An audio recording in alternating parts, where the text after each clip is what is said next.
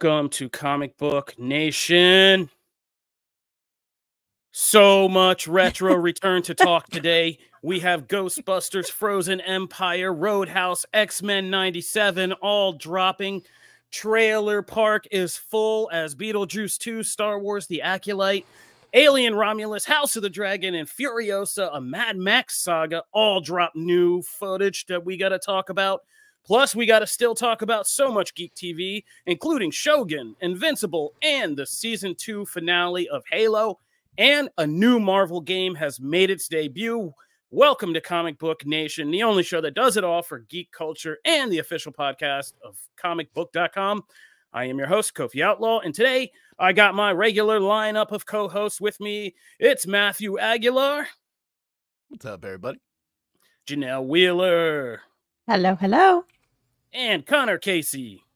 What up?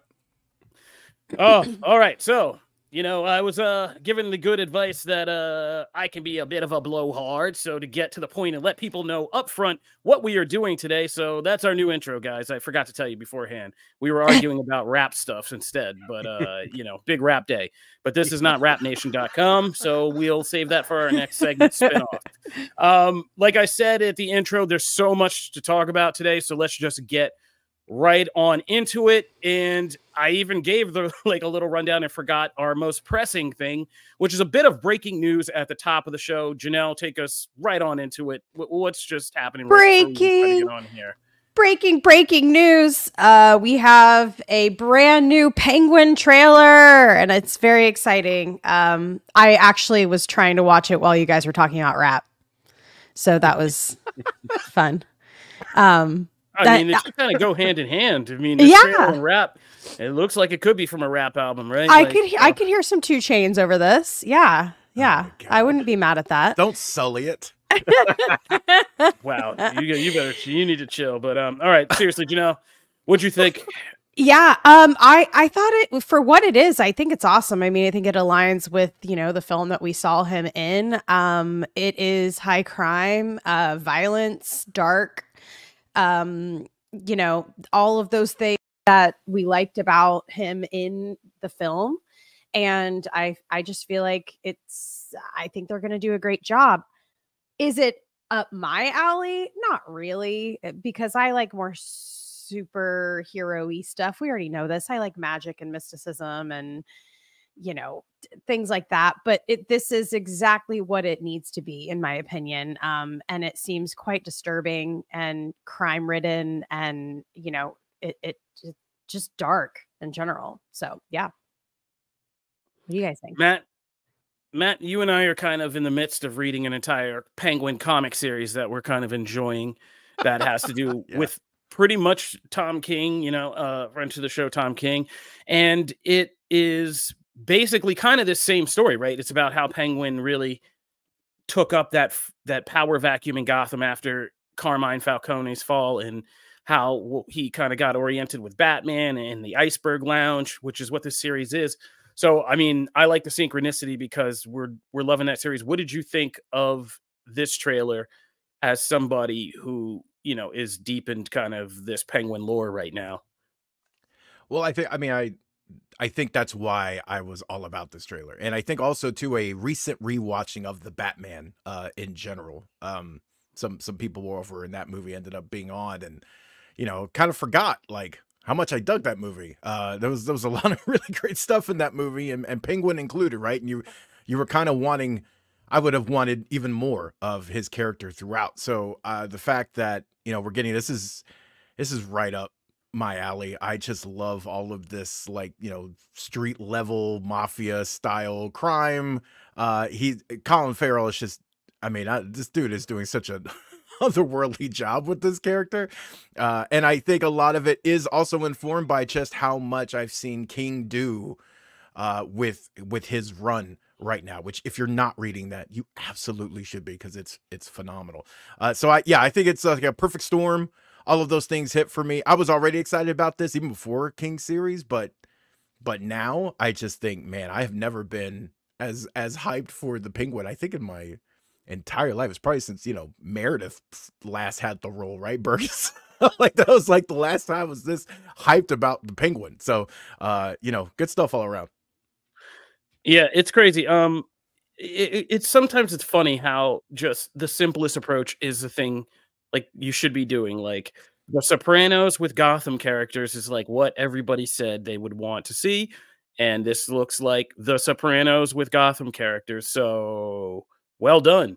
So I mean, and I love just I like the way they keep framing the the marketing, like the not just action and and like the comic bookishness. Sorry, Janelle, the comic bookishness of it all, but the other side, like just scenes carrying the drama, just like letting us know that we have like prestige actors and, and really talented people who can just sit in a room and have a conversation and really kind of carry this show and, and make us feel like compelled to the kind of mob drama that's going on.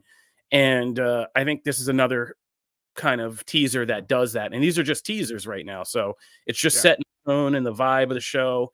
And uh, yeah, I, I'm kind of like really digging it and kind of just digging what they're showing us and how they're showing it so far.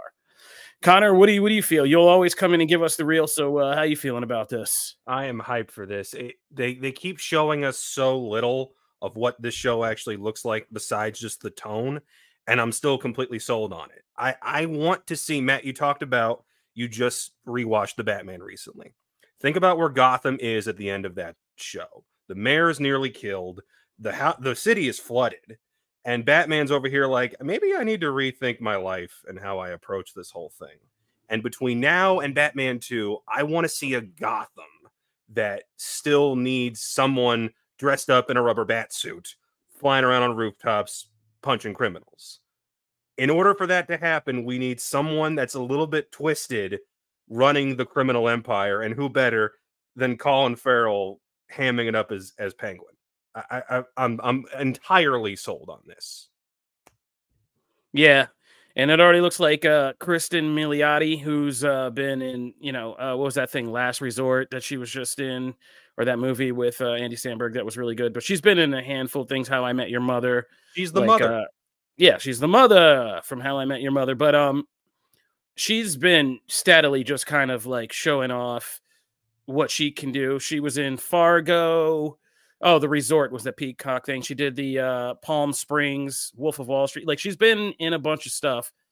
She was uh, DiCaprio's first wife in Wolf of Wall Street, and like, yeah, she's always been talented. And so, I'm really kind of interested to see her as uh, Sophia uh, Moroni, and just her going at it with Colin Farrell. This just looks like it's going to be fun. You got Clancy Brown as Salvatore Maroni, which never go wrong with that.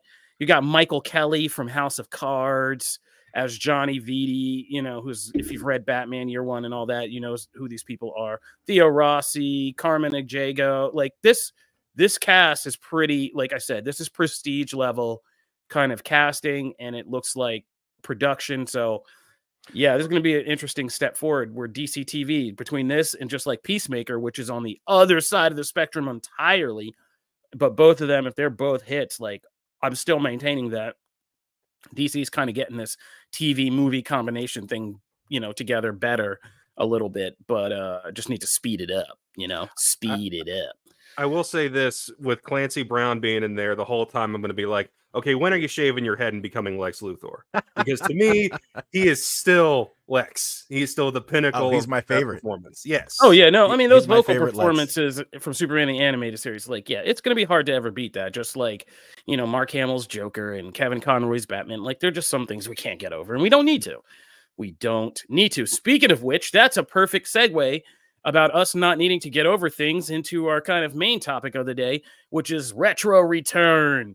It just so happened I was like trying to pull something together with all the monumental amount of content we had to talk this week about like what would be a theme of this. And I was like, oh man, yeah. And this by today, this week alone, I've had to see a new Ghostbusters movie, a Roadhouse movie, and the return of X-Men the animated series. It's like, well, there's your theme. Boom. So retro returns is what we're talking. Um, starting with the one I can get out of the way pretty quickly, which is Ghostbusters Frozen Empire. I reviewed this one for comicbook.com and I gave it three out of five stars. Um, I wasn't the biggest fan of Ghostbusters Afterlife. I thought it, while it was very touching and meta, I also thought it was just kind of uneven in tone from the very serious family stuff to the more, you know, irreverent ghost busting stuff. But I got it, and I felt why it was personal for Jason Reitman, who I'm always a fan of from Up in the Air and Juno and a bunch of other movies, and I, I was still willing to say like there was potential in the franchise.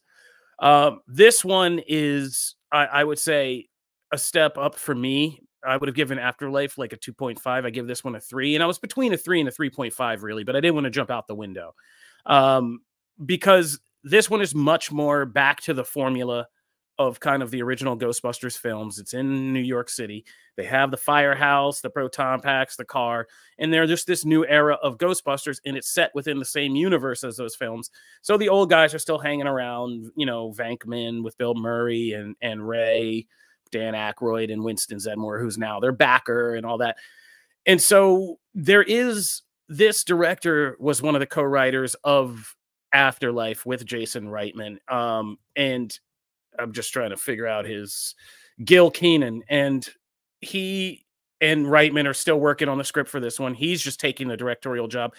They've got better effects and more time to complete them than we got in like the pandemic era of the last one and this one remembers kind of what made the first films really good in my opinion as someone who grew up in that time period watching those over and over and over again at sleepovers on VHS which is that uh, Ghostbusters is a kind of a weird comedy movie pastiche built around this idea of you know detect scientist detectives but looking into the paranormal right but the movie itself is just like a lot of sequences uh, that often have very weird things happening into them like, you know, Ray gets kind of assaulted in bed by a ghost at one point. Like, that's part of that movie. And some of it's really freaky, some of it's very funny, and some of it's kind of like pushing a PG rating a little bit with some of the things that get said and done in the movies. But um, this movie kind of remembers that and, and tries to recapture that and arguably does it better than, you know, what we've seen from the 2016 one or from Afterlife. And I don't think the 2016 one was a complete failure like other people was. I think it was just too polished and too much of a like a Paul Feig movie with that kind of style of bridesmaid comedy, but that wasn't the vibe of Ghostbusters. That Ghostbusters had a kind of different kind of comedic vibe. This one gets that. It's a lot of like semi on the borderline like adult stuff, some really weird concepts they take swings at in this one that I've teased. Like there's a whole relationship subplot between a human and a ghost in this one which gets kind of really weird at points. And so there's also a very big cast and a lot going on because you have all the people from Afterlife, you have all the original Ghostbusters, and there's all these cross things happening across the generational within, you know, the Spangler family from the last film and within the old Ghostbusters from, you know, the old films of, you know, having old man arguments about how much ghostbusting they should still be doing. On top of that, you got a much scarier villain in this one with Garraka, this ice demon, and you know scenes where this thing is freezing people and killing people that are actually pretty freaky. And the demon itself was pretty freaky which i support. These kids need to be freaked out. They think they know too much these days and they need to oh, be scared. Like you gotta put a little fear into them that amblin love you know what i'm talking about? So i fully support this. Parents i don't even think like the demon was the most disturbing thing. I think some of the the ghost human relationships more disturbing because you know not to be spoilers but you know how that those two try to bridge the gap and, and get to each other it gets a little weird you know what i mean? And i think that's a little bit more disturbing for like teens or young kids. But the demon is good and kind of scary and it feels like there's stakes. At the end of the day i feel like this film makes me think that this spangler family era of ghostbusters films is something i would continue watching. The cast is just having more fun in this one.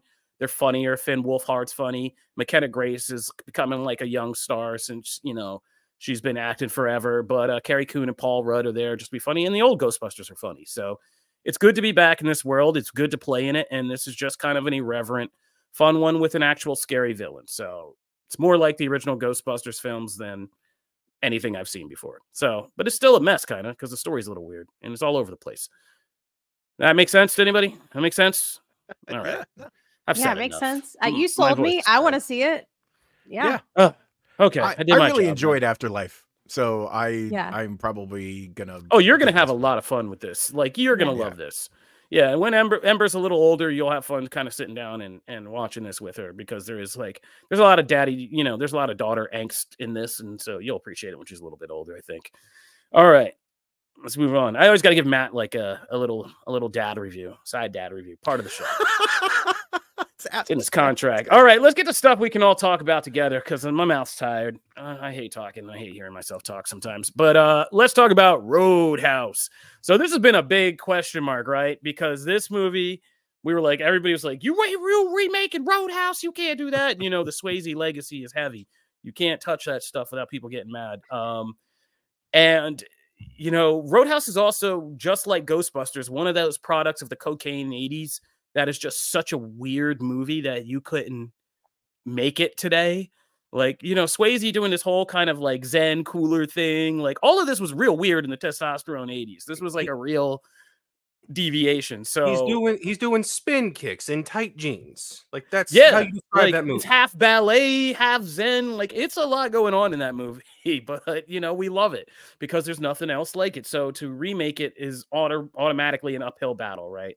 So uh, you know you got Connor. You take this one. I said I wasn't going to talk, and I'm still talking. Connor, you take this one.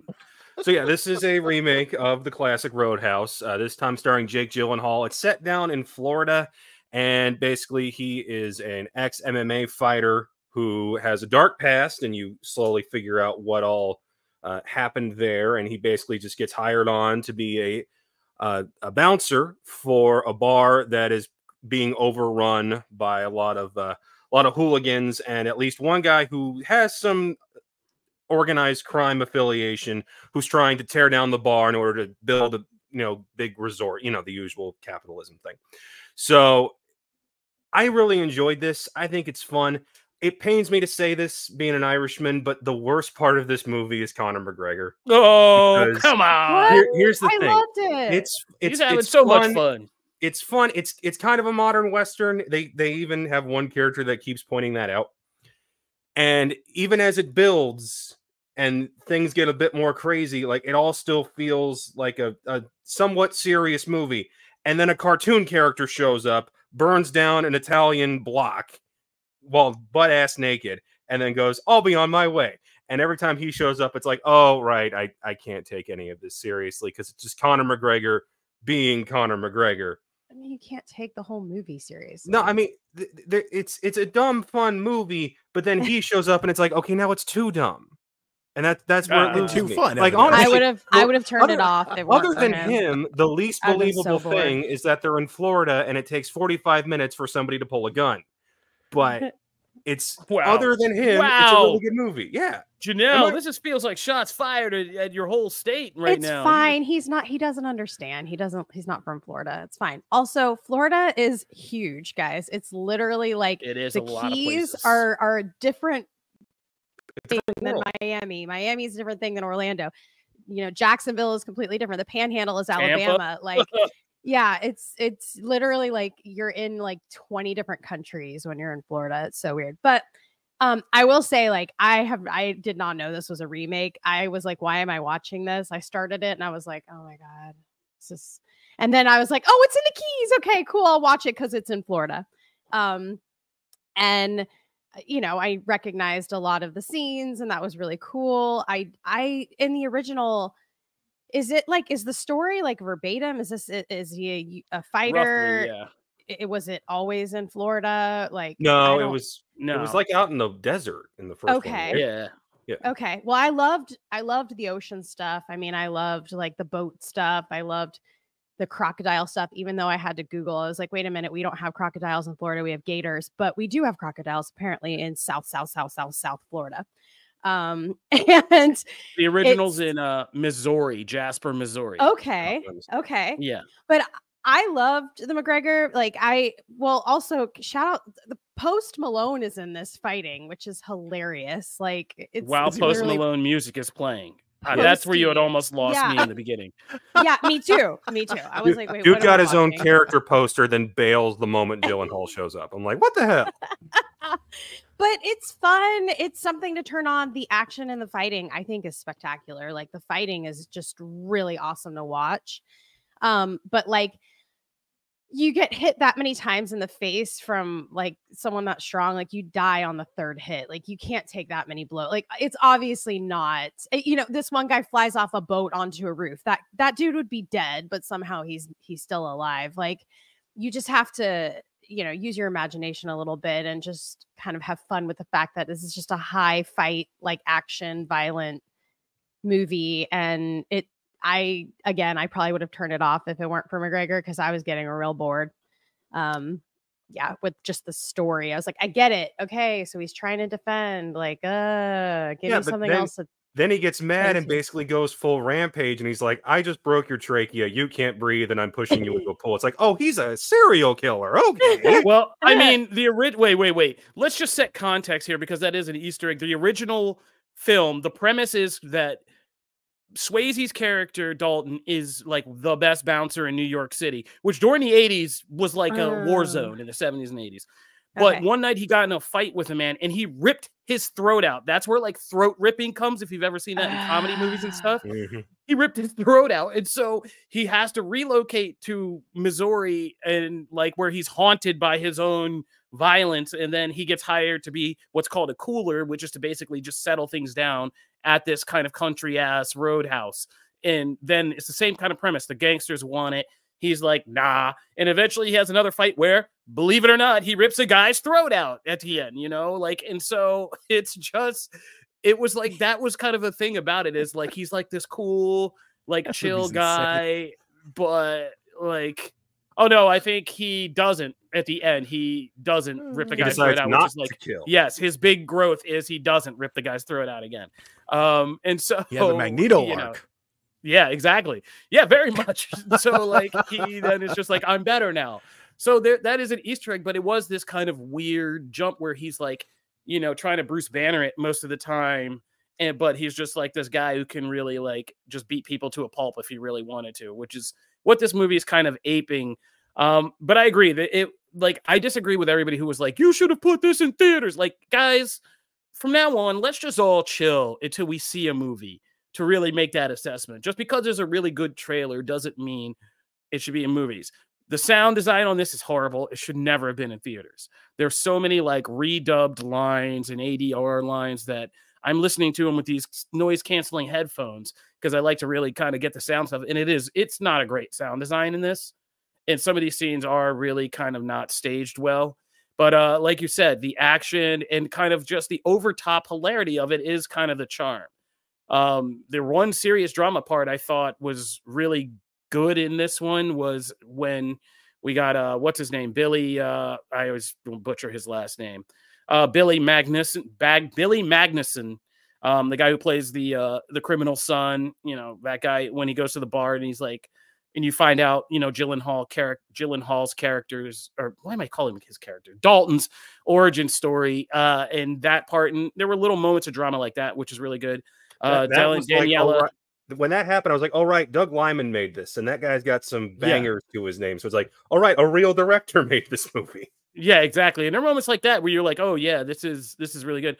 And Daniela Ma- uh, Melchior from Sui- the Suicide Squad, it continues. Although how she ended up in Florida and with that accent and and all that, just don't ask. But um, yeah, she's still proven to be like a really great, you know, actress. And there's a lot of people who show up in this that you recognize from, like you said, Post Malone to Conor McGregor to uh Joaquim de Almeida from or JD Pardo from you know Mayans and stuff who was the the guy who he first the first bully he beats out. So it's a fun movie, but I think they did it right. Like I think just streaming it on Prime and letting people enjoy it as a big Prime release was smart. And to kind of go that way. Matt, I feel how do you like. feel?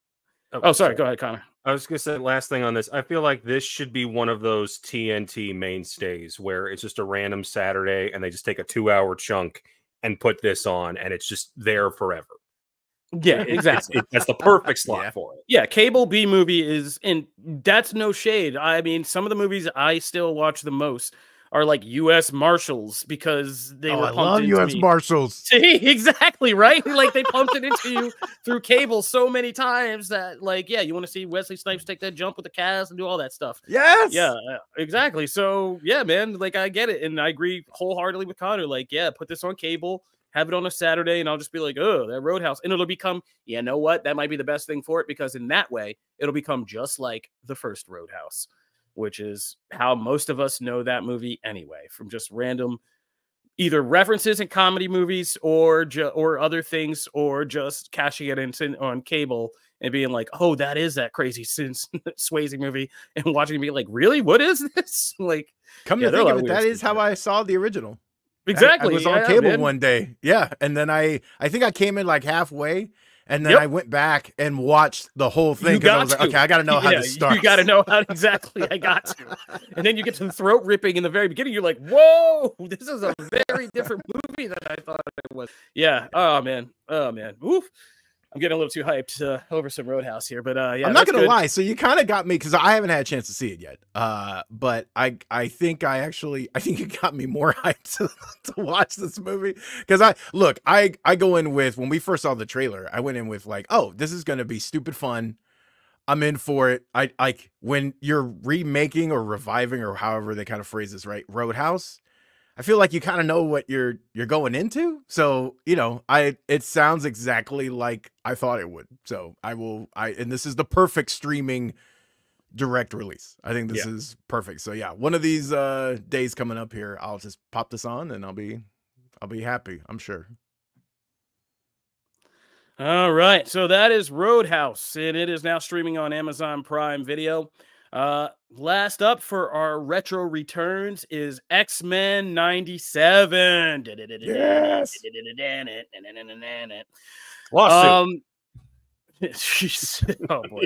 um, and I'll be honest, I, am gonna get mine out of the way real quick. I, I, was ready to come on here and really go off on X Men 97.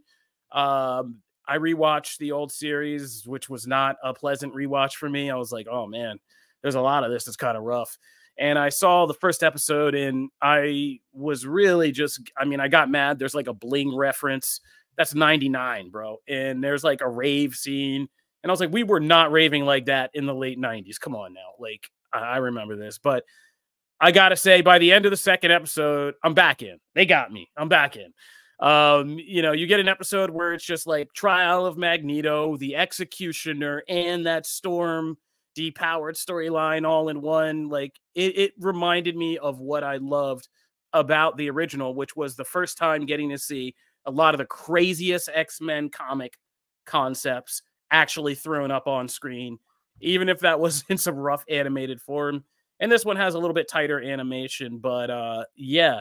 And we're already segueing into things like Inferno. Like it, it's pretty nuts. And it's just that cheesy X Men comic goodness that I can't help but love by the end. But even if I don't love all the voices, but we'll get into that.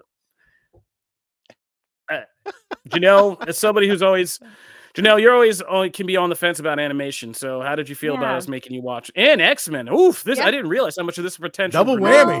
Yeah. I like I like my throwback X Men because I know these characters, like I'm familiar with them, so it's not intimidating. Like I didn't live under a rock in '97. you know, I was like, I was a kid, I was around it, I was exposed. Um, and yeah, it just felt very reminiscent of what I remember from the show. I didn't go back and rewatch um at all, so I I couldn't remember storyline. I didn't like even remember every character and their you know capabilities and personality and things like that. Um, but I feel like they did a really good job of kind of just explaining it all and getting you linked in, even if you don't have that extensive knowledge of these characters in the background. So I I appreciated like I, maybe it might have been boring for for some of our expert friends but i appreciated the first episode that they kind of made it very crystal clear like this is what's happened to professor like this is our villain. This is, you know, the the kind of um, strain between humans and mutants. This is everybody's power sets. Like these are the relationships. Like I got all of that in the first episode. I think that was really important, especially for anyone new who might be tuning in for the first time. Um, and then of course it was, it's beautiful. It looks like a comic book, which I love. I I miss that. And um, you know, I've really enjoyed it with Invincible, and I really enjoy it here too. Yeah. Yeah. That's a that's a good tee. Okay, so um the and Kofi mentioned earlier, right? I get dad reviews, right? Well, uh, there's not a more fitting one for this because uh, my munchkin saw me starting to watch this on my laptop and went, "Oh, what's that?" And I was like, "Oh, this is like X Men." And she was like, "I want to watch." So she sat in my lap, right, and we watched both episodes back to back. She was enthralled the entire time. She had to go get a juice and she asked me to pause, right? So that's how you know like I don't want to miss anything. Uh that was the like I think the best possible way I could have I could have watched this because she would ask me questions like who's that and like oh okay you explain stuff and you go back to oh and this is what happens and it was like a perfect bridge to when I was a kid and this was out and it was my this was my end all be all X Men the animated series was my I you know I adore Batman uh, and Batman the animated series um, is an all time classic.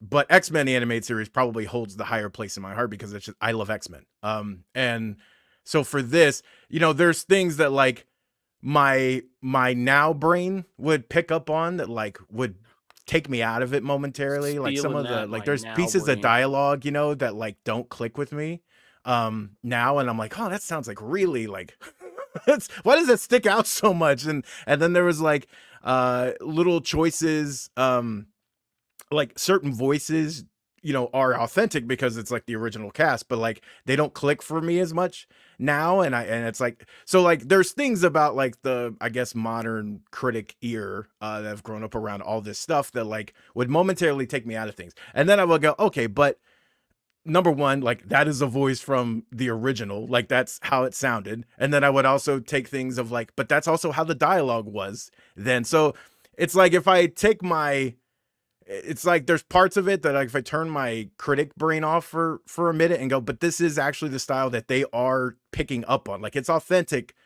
to the experience, you know what I mean? So like I have little nitpicks, but I gotta say, like by the end of the first episode, um, you know, I was I was in. And then episode two, I'm glad they they released this in a batch because like two is where, my God, like that episode just rules uh a- across the board and i thought they you know they did a really good job um i of capturing that feeling um i i will say they did my boy right uh cyclops is like my favorite x-man uh and dude that boy, thing when he drops out of the sky and lands using his optic blast the first the first I slid battle out of my, I was that Vince McMahon me. Oh, I can't even use that the, anymore. the Damn. first Nope. the, the first battle scene where he's using his optic blasts in like four different ways. He moved he uses it to move him across the the floor quicker. He like he hits another guy with an accurate beam, then he hits a wide one, then he like uses it to move him like a dash. Like the the way they interpreted the powers here. I mean, obviously we've seen like the Gambit Wolverine bits and things like that too, but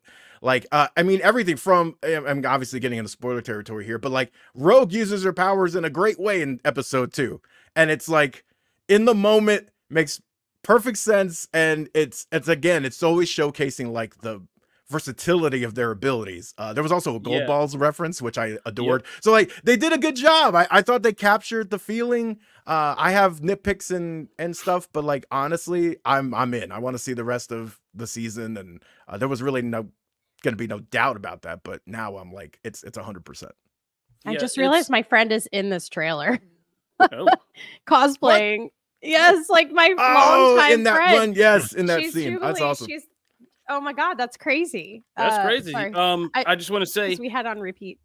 no, I just want to say, um, from Matt's point, like one thing I do like is it's clear, like some of the things that we've talked about, because you know we started this with the Krakoa era of the comics, is they really are. I feel like one thing Jonathan Hickman really has cemented into X Men lore from here on out is mutants using their powers in circuits because there was a lot of that in these episodes from like Magneto and Storm combining theirs to just you know doing that. But then i realized like also x-men the animated series was one of the first places we really got that in that last episode because the whole thing is like xavier and magneto combine their powers to you know save anyway.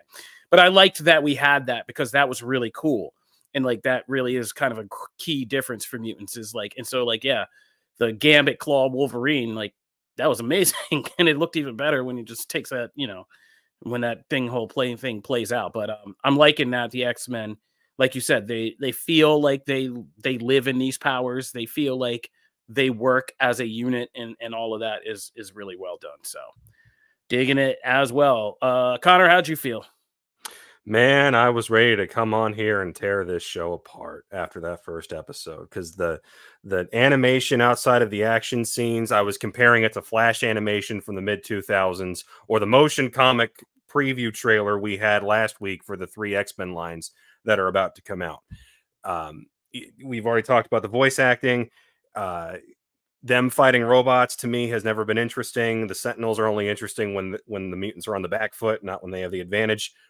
Then episode two hits, and it hit me like a truck. Where I go, oh, this really works.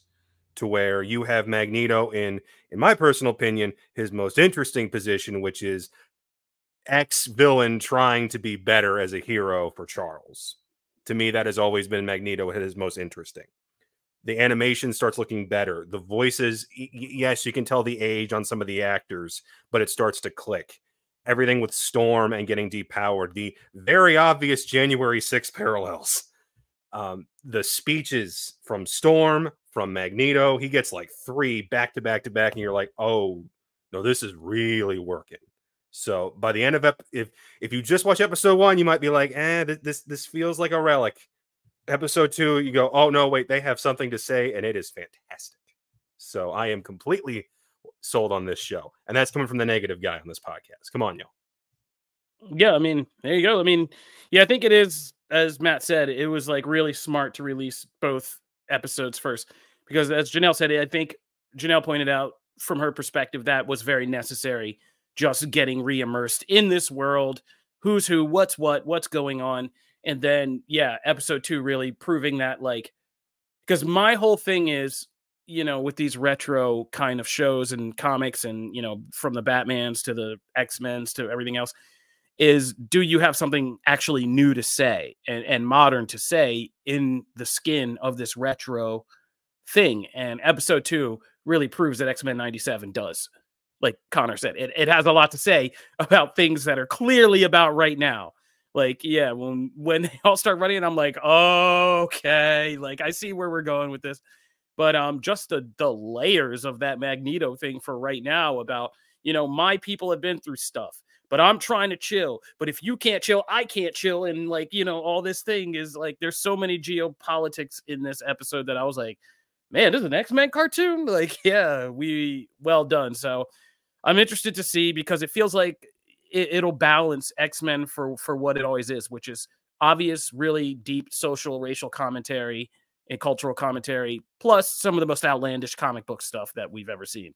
And by the end of that very serious episode, we have a soap opera twin drama that's on our laps, right? So like and one of the one of my favorite lines from the second episode is Jean shouting, "He's coming!" and Wolverine's like, "Who? Apocalypse? the baby!" yeah, oh, that is right. hilarious scene. There's a comedy in this, yeah. And then she like he's so and i just love it that he's like such a slow man about it that she just psychically like throws his wallet and keys in his hand to be like let's go like get me to the hospital yeah there's a lot of fun i mean there were funny parts in this so like yeah it's interesting and there's a whole world to this already and uh, i wanted to not like x-men 97 this much but here we are all right anybody got any parting things before we take a break here i want rogue's power just to be able to touch a doctor and be like and now i have a phd I want Rogue's power to touch her own throat and change her voice, but that's me. All right. Mm-hmm. I will uh, say it was nice seeing uh, Bishop is a great addition to like the full scale lineup. You know, because like obviously he was featured in the original show, but like being having him like be a full time a part of the team, like they used his powers in really cool ways. Also, uh, Ember is now a Jubilee fan. That makes me extremely happy. All right, there you go. Matt's happy. Let's take a break. When we come back for the second half of Comic Book Nation, we still have a bunch to talk about. We have so many trailers to go through and talk about, plus what's happening on TV, Shogun, Halo, Invincible. Stay tuned for all of it.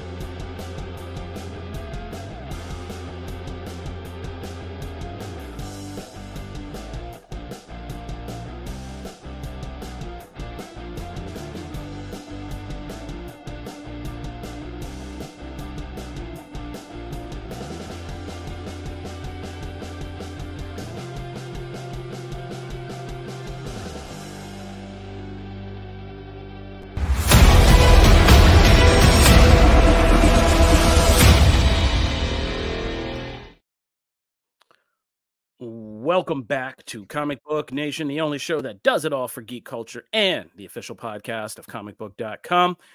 We had a pretty full first half where we talked about the Penguin trailer and reviewed Ghostbusters Frozen Empire, the new Roadhouse, and X Men 97. We got to keep on rolling because the trailer park is looking full today. Starting off with something a little bit fun that we decided to hand off to Janelle Wheeler. Yeah. Uh guys, Beetlejuice dropped. I'm so excited. However, I feel like this trailer did not give us much. like I have no idea what the story is going to be about. We don't get a good look at Beetlejuice, but we do understand that the area is all reminiscent of the first film. So we have where the car accident happened, the little bridge. We have a funeral. I don't know who for, and it looks like Lydia comes face to face with Beetlejuice um, at the end of of this trailer. So, you know, I would have liked a not Lydia. Wait, oh, I thought it was Lydia. Oh no, oh, it's the daughter, huh? Yeah. Yeah. Oh my gosh. Yeah, there's no, yeah, we know some story. Lydia. We know some story elements. There's a synopsis that came with it. So we can we Right. have But if you're just watching the trailer, you don't get a lot of information, but you get a lot of nostalgia, which is great. And I feel like that's what we want. His hair doesn't look right though to me. That's my one criticism. Beetlejuice's hair looks different. And his voice sounds a little different too. So I'm going to be a little critical. This is one of my favorite films. I I adore Beetlejuice. So um, you know, my expectations are pretty high and I am cautiously optimistic. How are you guys feeling about it all? I, I, think, oh. oh, I think that I'm just going to say one thing. Um, uh, the Beetlejuice look thing, I think, is this is one area where I think a long sequel actually works for a character like this because, you know, no no offense to Michael Keaton who still looks great, but like him being older and looking older just makes his character look like wilder and more decrepit in a way, which I think works for Beetlejuice. So I was kind of like okay with that part. I was just like, oh, I was like, yeah, I'm down with that. And that part I wasn't I wasn't mad at. I think that um there's some interesting things. I think this is a good teaser for me because it's just to kind of let the world know because you got to remember we are in deep in a nerd bubble, in a geek bubble and like we've been on this the whole way, but like the larger mainstream world is just finding out that it's just been like I've had a lot of messages like, "Hey, you know this Beetlejuice 2 thing is happening?" How crazy It's is that? I'm like a long crazy. time until it releases. So Yeah, exactly. And so this is like a first early teaser, but it's just pulling out the big guns, right? We got Michael Keaton, we got uh, Winona Ryder back, we got Catherine O'Hara back, and oh, for you Gen Zers, it's your girl Jenna Ortega is in, up in this. So, you know, like they, they're just hitting those beats. And um, we know that this is going to be about a death in the family. Uh, I, I keep trying to make out who's on that tombstone, but it's most likely the Lydia. I would bet either Lydia's stepfather, Charles, or if she was married to somebody or, or with somebody, that person died, Astrid's father, which is why she's all messed up.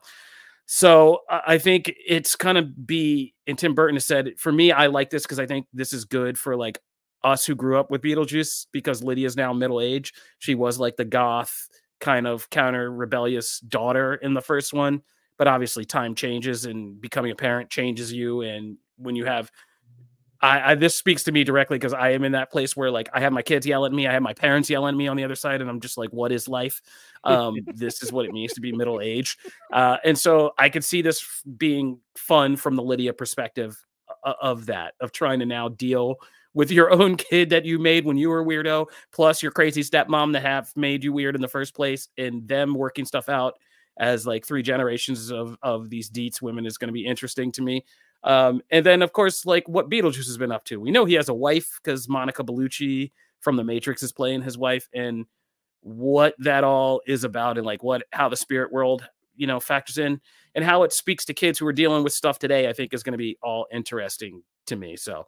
I'm, I'm kind of I'm in. I mean, but I was never gonna have any hate for this. I was I was arguing with a friend who was like, Tim Burton ain't done nothing like in years. And I was like, well, he did direct those four episodes of Wednesday and come up with that show, which made me a believer again. But like, yeah, he's got something to prove on the movie direction front.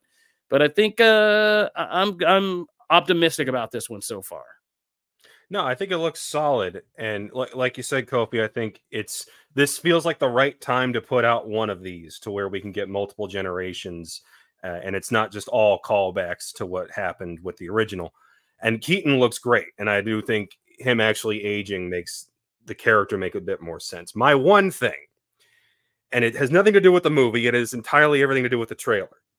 I know for years now, we love doing the slowed down dramatic version of songs as the backdrop for trailers. Of all the songs to do, Fonte's Banana Boat doesn't really work. Yeah, that's a that's a hard one to keep uh bringing back and it I was actually getting in this conversation with somebody also. Yeah, it's not helping Tim Burton's case in certain ways, but uh yeah, yeah, I mean, but I mean, it's so iconic with the first film that like I get it. it's the original. I don't think when they're like daylight. Yeah, yeah like, I think, and I think children cannot be singing this right now like this, please. Yeah, it is. It's weird. It's a weird one. Um, when you, it's one of those things you don't want to think too much about. But uh, then again, this is like uh, this is that weird Nickelodeon doc week. So yeah, you got to think about these things a little bit more, maybe. But yeah, it is a weird choice.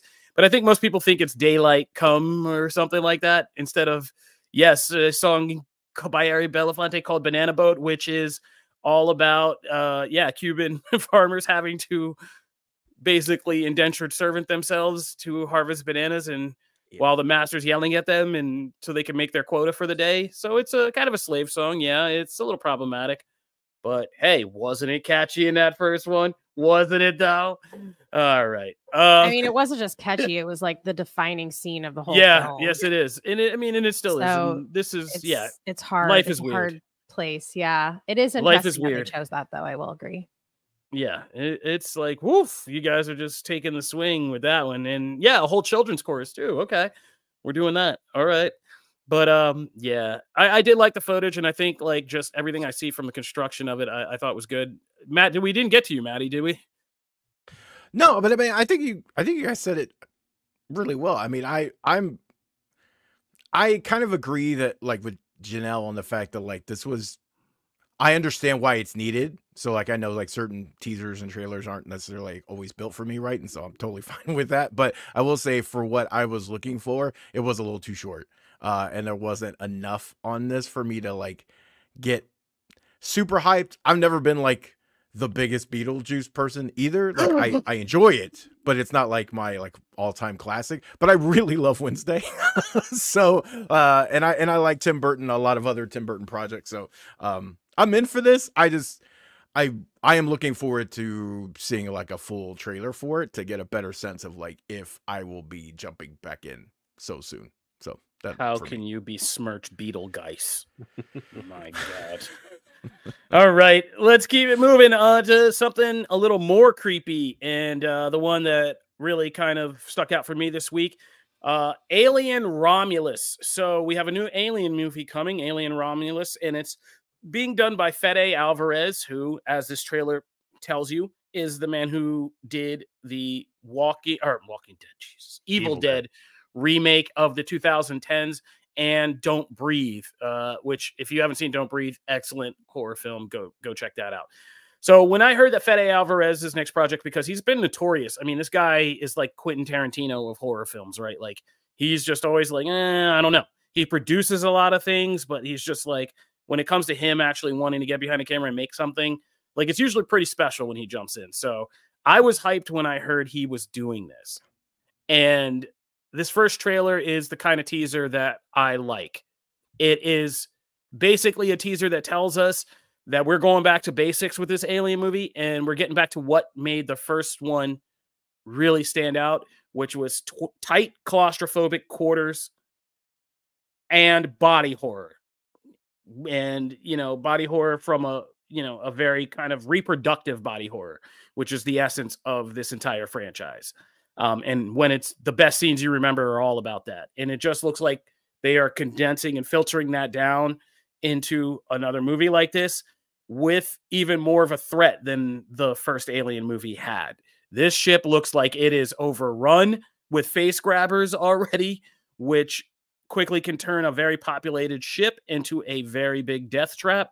And I am here for it. And if it's that simple, it, it I, I am here for it. And even Aliens, which seems to trick you by making it seem like it's bigger in scope, is actually in some ways even more claustrophobic because it's them stuck under that reactor or them stuck in that base and that's pretty or stuck on the ship at the end so it's just three kind of choke points that they're stuck in throughout the movie um and i love that about that's what i love best about alien we've been reading alien comics and stuff on here i don't this franchise never dies for me because there's so many permutations you can do with it and so many ways you can make it a good horror kind of series so uh, this was an effective teaser with me, and the fact that it's going to be younger people. It looks like taking this on is uh, like I said, these kids need to get some hair on their. Or wait, that sounds weird. They need to get some metal in their backs.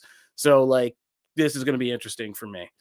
I don't know, like some metal in their spine. I don't know to get tougher. This is what I'm trying to say, Connor. I'm trying to say because you're making faces for the non-video people. hair on your chest. That that, that yeah, I, that that's why I stopped but I did that sounds weird for kids, so I stopped. Like, oh man. So yes, they need some courage. Let's just keep it a basic language. These kids need some courage, and them facing the monsters in the dark is a good kind of lesson. I feel like. Janelle, you can hate horror sometimes. I always like to get you as a kind of a, a test, as a control to my madness. So, what did you think of this teaser? Uh, I mean, I I really love sci-fi. I love space. I love aliens and all of that fun stuff. So this feels interesting to me. Um, and I I don't feel as horror like vibes as I mean I obviously it's bloody and it honestly was making me think of the latest Halo episode when I was watching this.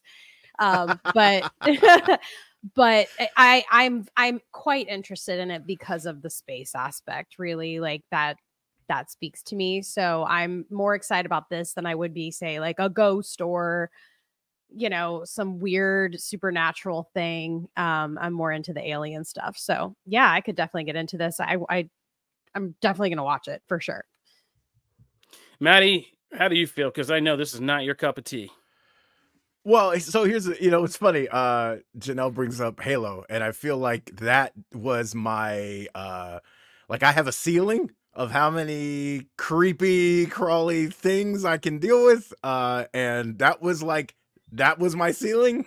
But then Halo so this... was also like The Last of Us. We're like, what is going on? like so I was like, okay, I got I got this, and like, yeah, no, uh, this is you know, for again, no no disparagement to the quality of the movie or the trailer. It did its job. I'm freaked out, and I don't want to be in this place uh, that they are in. So you know, it it sold me. I get it. I will probably you know, I I will watch this and I will watch it with like one eye closed, uh, just so that I can. Yo, Fede's movies are. Uh, I'm gonna tell you, Ugh. no matter how like Fed, um, I love them, but Fede's movies are never easy re-watches. I can tell you that. Nope. Connor, uh, did you already comment on this one, or do we need your take? I, I haven't, and so my thing about the xenomorphs is that they stopped being scary when we started throwing space marines at them. So it's been decades of this, and we've had multiple alien installments. We've had the Alien versus Predator duology. We've had Prometheus and whatever the hell that last Alien movie was supposed to be. And my thing has always been with them it's at this point, we're decades into this. We've learned so much about these creatures that the fear of the unknown that was in the original is long since gone. But like you said, Fede Alvarez movies are hard watches. They are intense especially that Evil Dead from about a decade ago. I think if anybody is going to make me be afraid of these little bastards again, it's this guy. So this uh, this trailer sold me.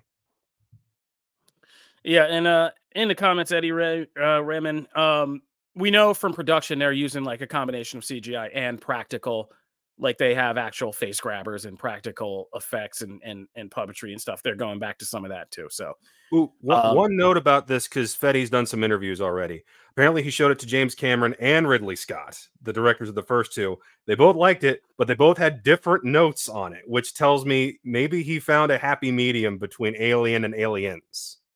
Yeah, that's a good sign. I would take that as a good sign. If they have different notes and it's not like the same complaint, like yeah, one's gonna be like needs more Marines. One's gonna be like needs less guns. Needs to be scarier and have Michael Fassbender playing with flutes. Yeah. All right. But uh, yeah, no, I mean, I'm in for this. I, I can't wait till this comes out. Uh, I'm gonna be. I'm happy to see Alien back on the big screen. Matt, take us into the black.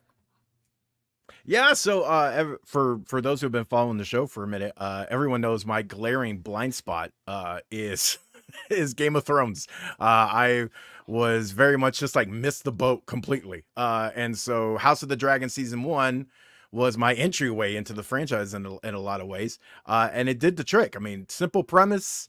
Uh, I was engaged with with all the personalities and characters, so I am I was very much excited for season two, and man, this trailer did not dull that at all. I am I am hyped, and I feel I feel like in a lot of ways the premise is almost simpler this time around in the fact that it's just like it's a battle for you know being the rightful heir, right? It, it that's that's what this is. It's a war between two sides, one the rightful heir and one not. But I just think I, I will also say, and I'll I'll leave the praise that I feel like is coming from Janelle uh, for a certain person in this trailer to her uh, because I know she adores him. But I will say uh, there was like one person that like almost stole the entire trailer for me every time he was on screen.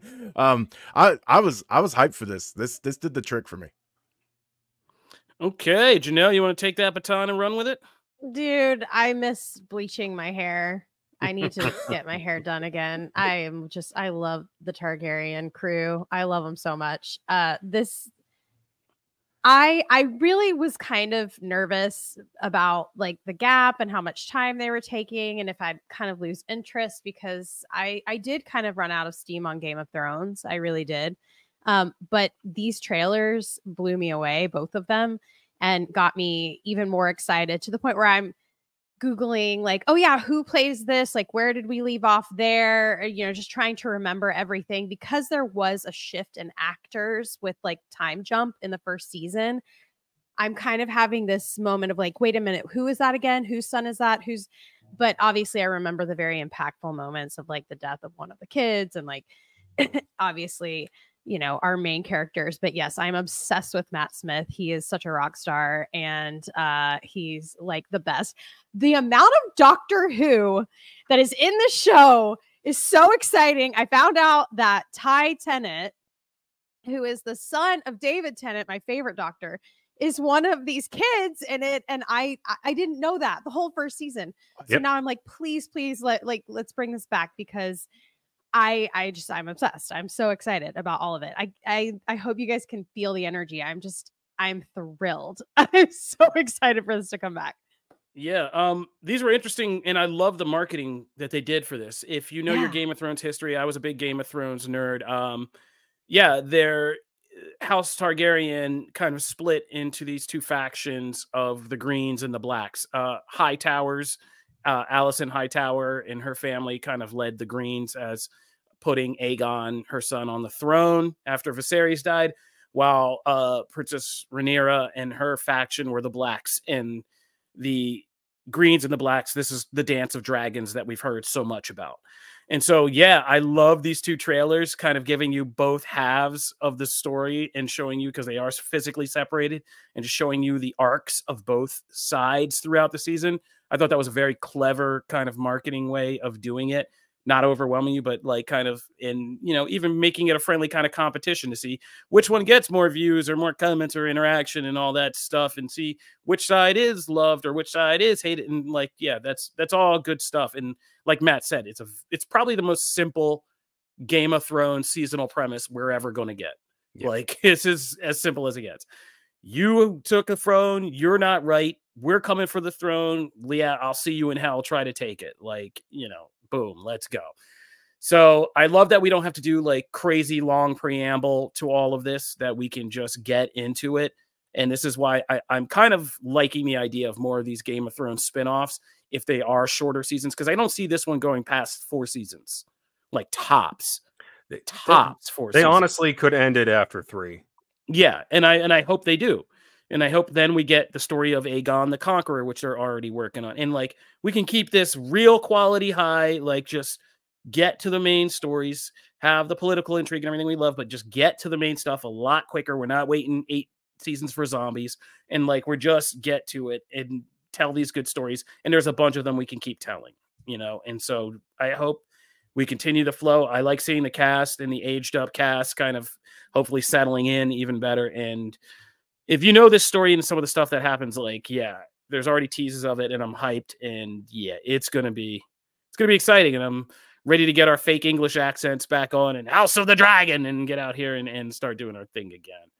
Um, Connor, you have anything to say before we move on? I, I loved the idea of splitting these trailers into two because it shows different sides of like there's like brother on brother twin fight. There's going to be dragon fights, so you almost see the shot versus shot comparison of like, okay, which dragon is fighting who. Um, Matt, you, you said it already. This this is going to be a much simpler season than last time. There is no big time skip. There's no big confusion about what actor is supposed to be playing who. It's a simple war story now. So you're getting a lot of dragon fights, a lot of people dying, a lot of bodies dropping, a lot of war crimes. Uh, we get the return of the Stark family. You see uh, one of the sons up at the wall. You're going to meet the uh, progenitor of guys like Ned Stark. We're going to see old school Winterfell. Like, even if you were a longtime Game of Thrones head, there's a lot to look forward to in this season. And even if you're not, stuff's going to get crazy. All right. All right. All right. Connor, uh, real quick, just take us on to our last trailer. We don't have to get too deep into this one because it's just a second trailer, but uh, how did you feel after seeing it? Yeah, it's Furiosa, latest in the uh, Mad Max franchise. It's more of what we saw in the previous trailer. It's Anya Taylor Joy getting ripped from her home by Chris Hemsworth with a bad nose prosthetic. And honestly, people keep talking about the CG and how it looks. I think it looks great. He's the most distracting part with that fake nose. But this still looks incredible. The action looks insane. Uh, Joy looks awesome with the, with the shaved head look that Charlize had years back. Um, I, I think this one is going to steal the conversation this year. I wish they didn't make this trailer. I'll be honest with you because I love George Miller kind of trailers as just showcases of action and noise and visual spectacle. And it's Mad Max. You really don't need that much story to it. So I thought this one overdid it a little bit, and and I and it makes me wonder does you know I hope they have confidence in this like Fury Road because like I really love that movie and I'm hoping big things for this one, but I I feel like this one showed me a little too much, and I just wish it had been just more stylistic like the first one. But uh, I get it. You got to market movies and nobody's taking chances. But uh, yeah, I mean, this one has my IMAX money for sure. So it's already done. Anybody else? Daddy. Anybody else? Matt, Janelle? I, I, I, feel like we've already built like so much excitement for it. Um, obviously there's more story to this trailer, and I'm okay with it. But uh, you know, uh, yeah, I'm I'm excited for it, but I've already seen so much of it that it's not the standout this week for me of all these trailers that dropped. All right, that's fair enough. Matt, you have anything to add? you just want to co-sign that and get to your thing? No, I mean, I, I, I really dug it. I'm not. I typically like more trailers than less. I'm, I'm just that kind of person, right? so, so you're the problem. Seeing, uh, yeah, pretty much. I, I think I am in that you're respect because I like to see it. I, you know, I take some convincing, right? I, I like to see a lot of trailers. Get me, get enough, me hyped up. But, uh, but this one, I mean, I'm, I'm hyped. I, I think it. I don't think it necessarily needed it. I just enjoy seeing more of the movie.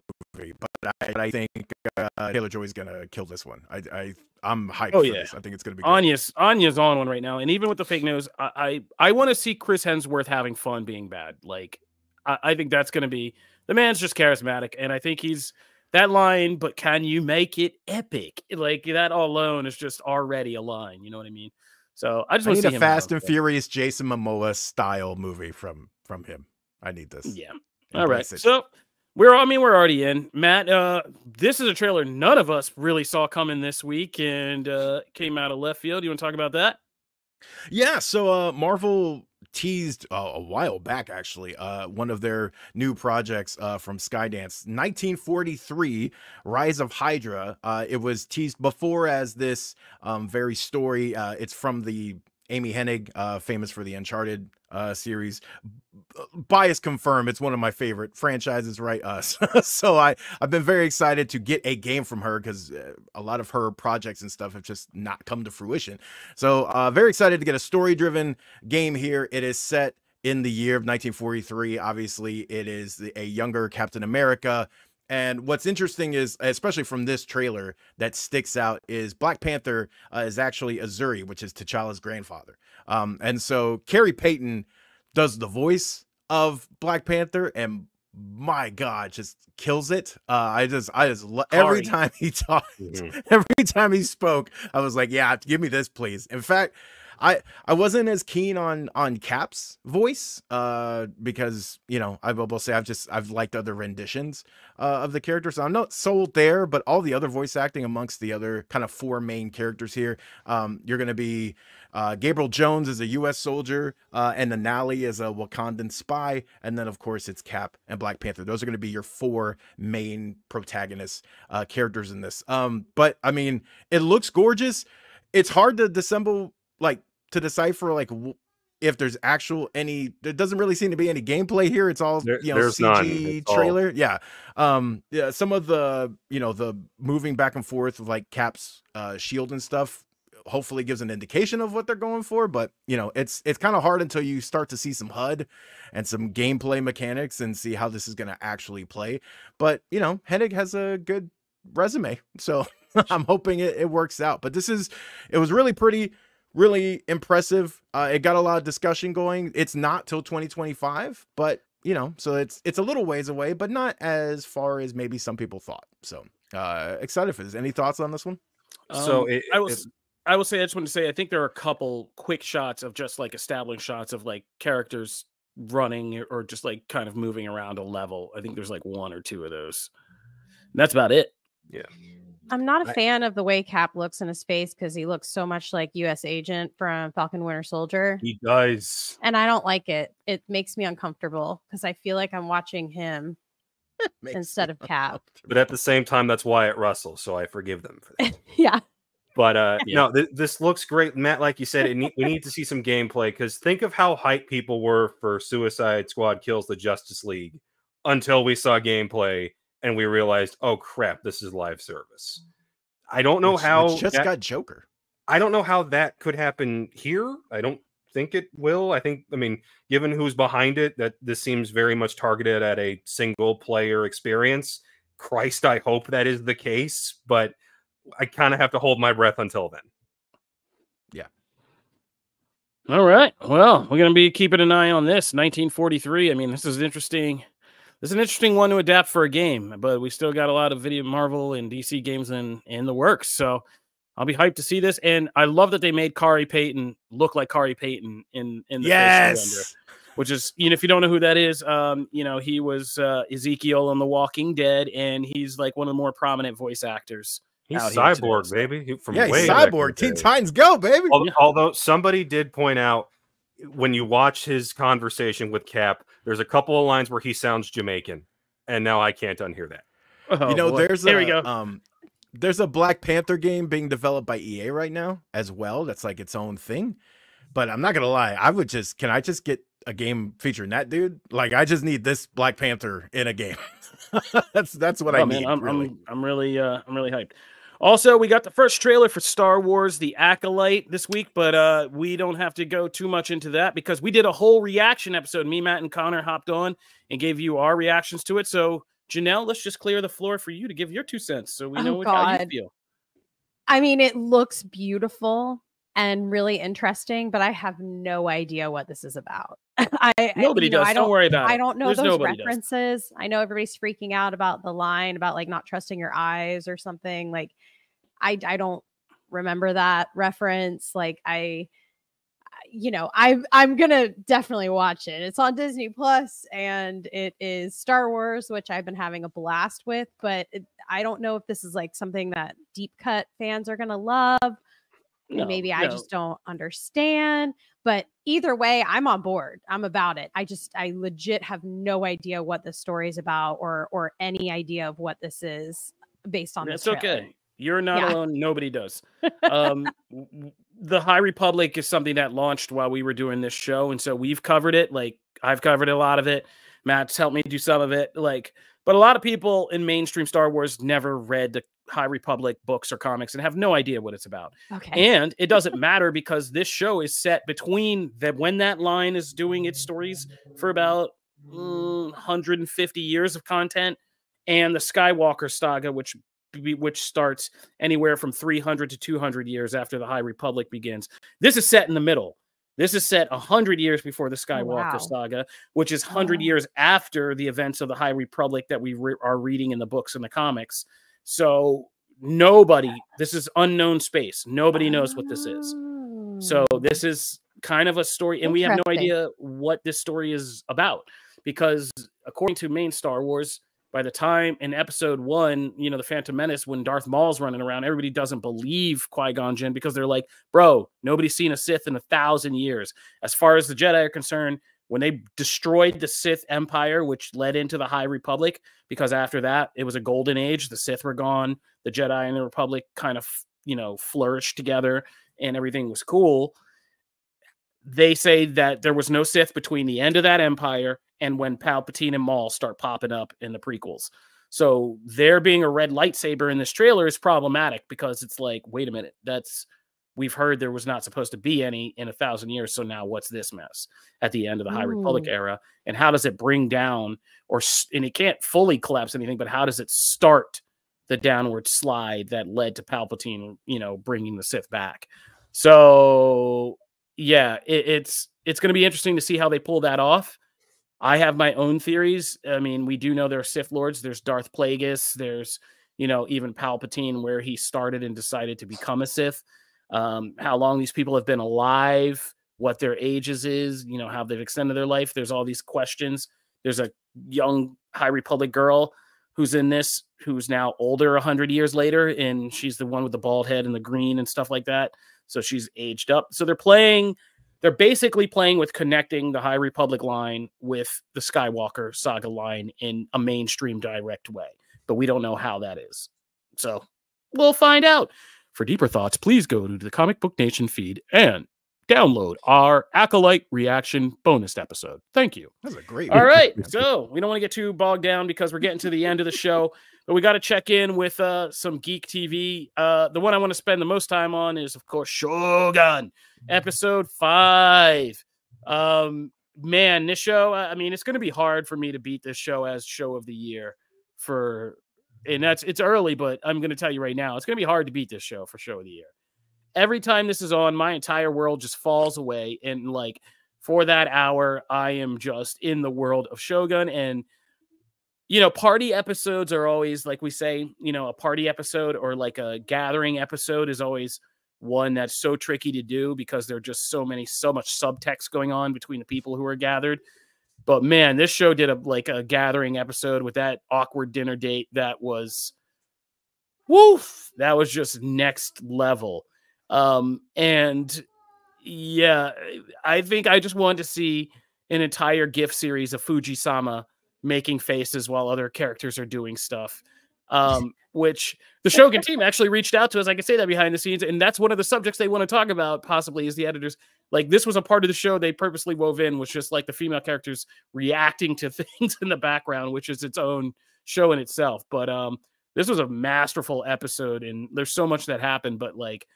I love that the show episodically is not doing what a lot of shows is. It's just like, oh, we were one long movie and we just cut it up. No, like every episode has a point and like a theme and an arc. And by the end of this episode, just staring at a rock now is going to make you feel all kinds of ways.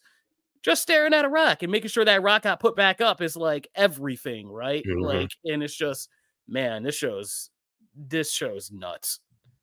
You, you could have called this episode culture shock just for all the things Blackthorne goes oh, through here. Oh, I see what you did there. Accidentally, ac- well, accidentally killing the old man by a mistranslation. He's like, you guys were willing to do that over over a pheasant. Seriously. And he, he's shocked by it, and they push back, and they're like, "No, th- this is how we are." But even then, yeah. he, he points out to the husband who, after he abuses uh, Fuji Sama, is just like, "No, sake ain't an excuse, and to hell with cultural norms. You're just a dick." And even Sonata at one point is like, "Yeah, I know we have the whole thing about husbands and wives, but even I'm not okay with this. And it's like, oh, okay, so Blackthorne actually has a point. And that culminates well, at the end of the episode where it's like, you can't be getting upset about an old man dying. For one, I'm using it as part of a plan that I've got going on. And also, people die here. We're surrounded by death. If the earthquakes and tsunamis don't kill you, our culture will. But then he goes and saves him from the landslide. He's like, oh, well, maybe the guy's got a point, and maybe it's not so wrong to actually value life. Well, and he think... laughs when he hands them the swords, even though culture to, in their culture that doesn't quite make sense. And he's like, "Huh, okay." So I feel I like there's that... common ground for them to find. I like that. I think. Oh, sorry. I'm sorry. I'm saying one thing. I just want to push back a little bit on is because this is a tweet I had that keeps getting gaining ground as it goes on in the weeks is about the takes of this and the readings culturally. And one thing I loved about the Shogun book that the show is even enhancing more is that there is no clear cut cultural perspective. There is no Western perspective, Western white guy perspective is correct right. in this. My favorite line in this is just, and Toranaga is the best character, is when Blackthorne's going on and he having that breakdown and he wants to like leave, and Toranaga looks at him and just like, and he's going on about the old man. He's just like, stop acting like a child. Like you, you in just those simple sets of words, it's just like, yeah, you are in a culture where you don't understand like what you say matters, what you do matters. There's a ritual to all of this, and you're just haphazardly running around, you know, playing kind of like, you know, guy from another thing and just acting like your cultural sensibilities are the only ones that matter, but they're not. And that's kind of the point. It's a humbling episode for Blackthorne in this, where he's got to realize, like, you know, he wants to make them out to be barbarians and all that stuff but like they're just like no dude you just don't understand like what duty is what what our culture you know family duty all these things you don't know and it's interesting to see you know how this old man's life what he thinks it is versus what it is in this larger kind of chess game mm-hmm. that they decided he was like yo i'm sick and this is what i'm going to do because this is a good end for somebody of my status like that's deep stuff to like really consider and, and then how that gets used and how it benefits in in his life and all that it's it just makes you think and i like that and there's no one clear cut perspective on people on culture on you know all of that it, it just really kind of makes you think but uh matt and janelle what'd you guys think? That is amazing. The, the show is just bad. It's it's so good I mean, I I keep ta- Matt, you take this one. I feel like I keep just talking and talking. Matt, oh, Matt's muted. muted. Muted, Matt. There it is. All right, I finally did it. I haven't done that uh, for yeah, so I know. Been, um, it's been a while. Uh, so yeah, no, I, but I think you guys really said it best. I think that's a lot of like we covered a lot of ground there. I I have nothing really to add other than I've just been really enjoying it. Uh, and I always enjoy um, cultural conflicts as topics in shows. I think it results in some of the when handled correctly with nuance. You know, it, it results in some of the best TV uh, in a lot of ways. And so I thought again, I I love that moment. Um, I think this was handled really well. Um, I'm also very much like you know you know, Thorn could use a little humbling every so often. So I'm like, okay, when that happens, you know what I mean? Um, but other than that, I, I thought you guys, you know, said it really well. So I'm enjoying it. It was great. I have an interesting take. I, I totally forgot. Um, my in-laws were visiting and they're, you know, in their 70s. And I tried to tell them about the show because uh, like my father-in-law is really into Civil War and like historical stuff and just like eh, eh, he's into all of that stuff. And I tried to tell him about the show and I got them really interested and they were like, "Oh man, we can't wait to watch this." And then I go, "But there's subtitles and you have to read a lot and you have to pay attention." And they just immediately checked out. They were like, "Oh no, like we're not this isn't the show for us." And I I just I hope that a lot of people aren't too turned off by that and I don't know if I'm when I'm telling people if I should tell them that those are there or if I should just tell convince them to watch the show and then they can learn they can find out the because well, you can't make sure you tell laundry. them there's an English dub. Yeah, yeah. you, you yeah. can tell them there's an English dub. Yeah. Right. Make sure but you sell that part. I mean, at the point that people are like, I can't read subtitles, they'll watch an English dub. They'll, they'll yeah. Yeah. it's, it's like when bon- when Parasite won the Oscar and Bong Joon Ho goes up and says, the half meter barrier of subtitles Once you get over that, there it opens up a whole world to you. So it Mm. just it hurts me when people are like, oh, I, I can't do the show because it's subtitles. It's like Me too. you're missing out on so much. And the dubbing Yeah. just does not do it justice. But they won't know the difference. Just tell. Just be. They won't know. They won't know. How will they be? What are they comparing it to? The thing they don't want to do. They'll All I'm fine. saying is you can't do laundry while watching the show. You can't like cook dinner. You got to focus. I don't. Pay Yeah, attention. you shouldn't. No, But you I don't got- think that's like I. I don't want to do laundry while doing the show. You know. I mean, think I, don't want content. to either, but Oh, you I know. do. There's a con- I want to there's be like- as productive as possible while I watch TV. That is Wrong, exactly man. who I am. me too. No, I think there's levels Sorry. of TV. Like, yeah, I'm gonna do things for a No, lot during of shows. any This TV, show. any TV, are- I I have a wild. podcast going in between when I am walking from one room to the other room. I must be doing That- something We're so and listening to something and doing like laundry or dishes. I that is me. That is Yep. who I am as a person. Which- Except not yeah, with this so- show. This is the one show. This and Halo, I've actually been sitting down and taking the time You to like wild. watch. Yeah. I just pause this a lot. I just go, oh, I gotta go do that and pause. Because I'm like, nah, so I'm not- You, it's you not all are wild. I got crap There's to do, nothing- man. no. Sorry. No. I look at everybody, bro. I got a lot to do too, but I just take one hour. This is my one restorative hour where I'm like, yo, I'm just gonna wrap myself in a blanket, sit That's down, yoga for me. and put this on, and yeah, I'm getting this in. So y'all are wild, but uh, we got to get out of here. But uh, let's talk about Halo. We have a whole recap of Halo season finale and a, an interview with showrunner David Wiener that's up on the Comic Book Nation feed in our quick save segment. But um, yeah, hype finale. I'm just hoping I'm pulling for season three. I know Connor Oh, wasn't in the boat, but. I think the three of us were, and I thought this was a great finale compared to, especially compared to season one. And yeah, I need that season three blow or blow, blow, bro. May may I defend myself? No, I I, I actually- mean, I, I, Uh, I was supporting your opinion. I didn't wasn't attacking it. I was Oh. like, I didn't think they got you, uh, but I, I know they got us. But yeah, go for it. But I actually I dug the finale Oh. because I think when it comes to when it comes to the Bungie era of Halo, what people forget because it's so overshadowed by the multiplayer experience is that the single player campaign it's mostly sci-fi horror, especially when the flood shows up. So I thought, why did episode four with Reach and why did this episode hit me as hard as it did?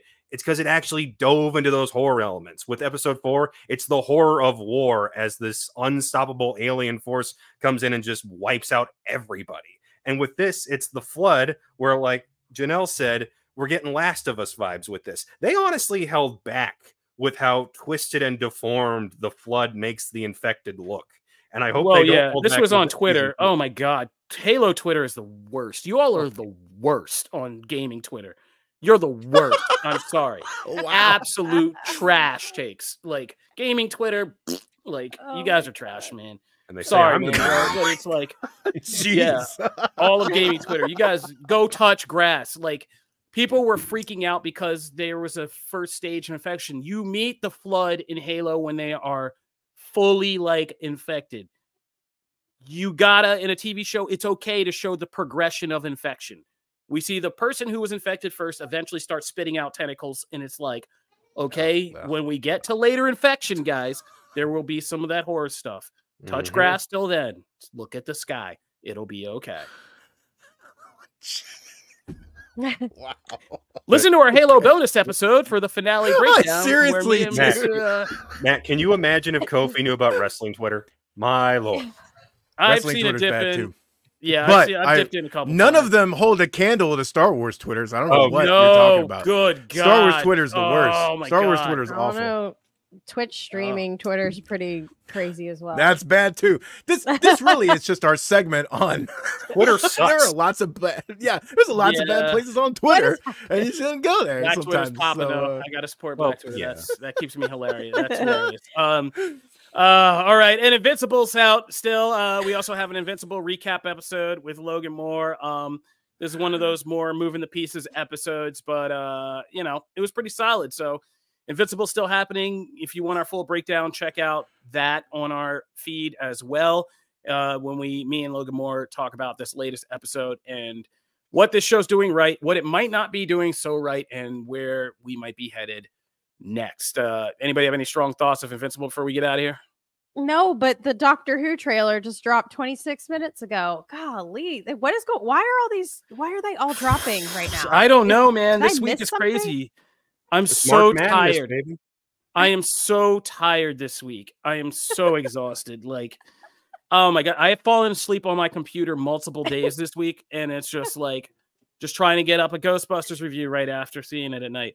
Trying to get all these recaps done for podcast and written. Like every piece of news is dropped this week. Like it's it's been an exhausting week. I'm, I'm getting out of here. We're gonna sign off. I'm gonna listen. but exhausted. Shout out to the Midnight Boys. I'm gonna listen to some Midnight Boys and and, and chill out for the rest of the for the rest of the weekend. But uh yeah, man, I'm exotic. Exotic. I see I can't talk. Exotic. Said- I'm I'm exotic. exotic, Kofi. You are. I've said so many questionable things already on this podcast because my brain is mush. Um, I'm exhausted. Uh, uh boy, but I am if you guys want to chat This about is- the Doctor Who trailer, feel free to tweet me.